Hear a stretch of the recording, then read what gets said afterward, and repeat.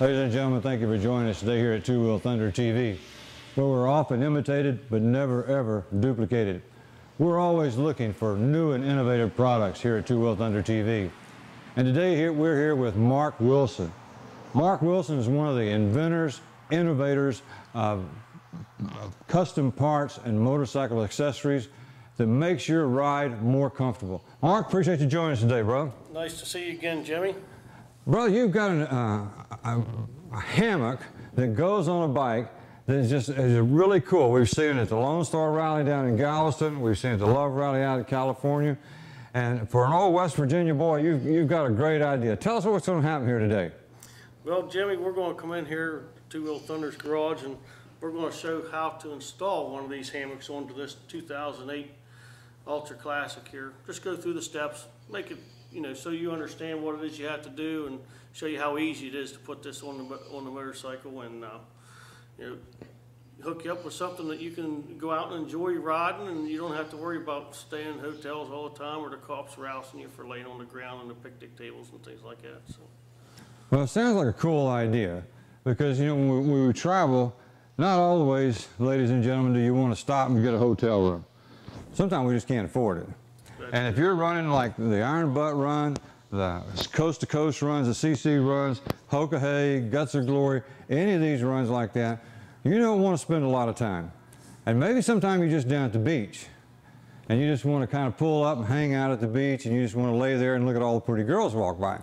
And this is a nice way of doing it. like to do that, don't we? Some of us like, most motorcycle guys like to do that. It's kind of like the three B's, you know, babes, bikes, and boobs. We all like to watch those things as it goes around. But we're going to break this up into like five parts where we can go through and you're going to show us exactly how to put this thing on.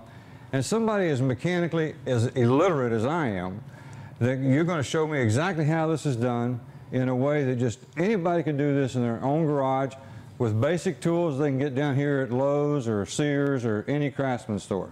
Yeah, we're going to make it simple. Um, Pat's going to shoot some video for you so you you can show it to your buddies and, and see how it goes on there real easy. And uh, it's going to take a little bit of time to put it on. We got a list of tools here, all the parts here. Uh, probably a couple hours of work and you'll have this thing on your bike. Uh, some people may do it a little faster, uh, maybe got a little better setup. Uh, we're going to use your lift here, Jimmy, but this can be put on on the ground. Uh, you don't necessarily have to have a lift.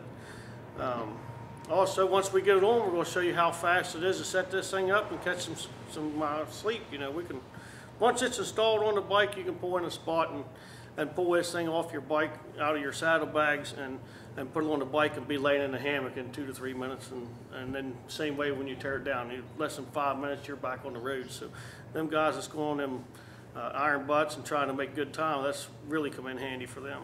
Sweet. It's convenient. It's inexpensive. It's durable. It's easy to put on. Ladies and gentlemen, you can't ask for a better opportunity than that. And what we're going to do, like uh, Mark said, we're using a Titan lift. You don't have to have a Titan lift. Titan makes some good lifts, but you don't need a lift. You can do it on your garage floor. You can do it just about anywhere. So what we're going to do is we're going to walk through the steps. We're going to show you the tools you need and everything you need to do. And ladies and gentlemen, you stay with us and watch how this process goes about. And Jimmy, I'll give you just a brief overview if you want about the, the different uh, parts of this install. Um, first thing we're going to do is prep the bike by removing this lower on the right hand side and okay. both saddlebags. All right. Of course we picked our tools out and that's the prep part we'll be getting all your tools ready. Um, I can go over a list of that. Uh, you might need a drill depending on your, your bike. Uh, well, you're going to need a drill if you have the lower and an inch and a half hole saw bit. Um, We've got a 3 8 Allen wrench. We've got a 3 8 Allen socket, makes it a little bit handier. A T40 Torx bit, a couple 3 8 ratchets, and an ensemble of different length extensions. And we've got 7 16 opening box in, a half inch, we've got two half inch, 9 16 and 3 quarter inch box end opening wrenches, a straight and Phillips screwdriver, a gray Sharpie, some Loctite, pair of scissors, can of touch-up paint, and we have a, some people call these a unibit.